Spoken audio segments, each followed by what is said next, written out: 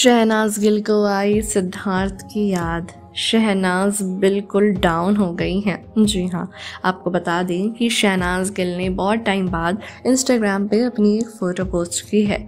दोस्तों, यहाँ पे वो ब्लू कलर के ड्रेस में नज़र आ रही हैं और शहनाज काफ़ी दुबली भी हो गई हैं।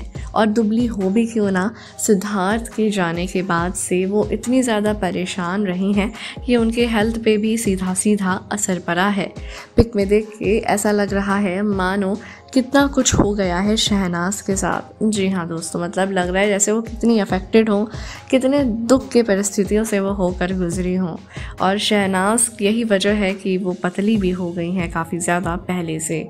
और यहाँ पे शहनाज बेहद खूबसूरत लग रही हैं हमेशा की तरह। और यहाँ पे उनका लुक जो है वो काफ़ी ज़्यादा चार्मिंग लग रहा है। तो आपको कैसी लगी शहनाज की पिक हमें कमेंट करके बताएँ। और एंटरटेनमेंट दुनिया की हर खबर को पाने के लिए जुड़े रहें हमारे चैनल के साथ।